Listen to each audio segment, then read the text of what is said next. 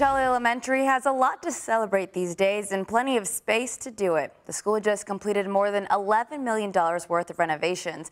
It converted an old pool area into rooms for art, music, and other activities.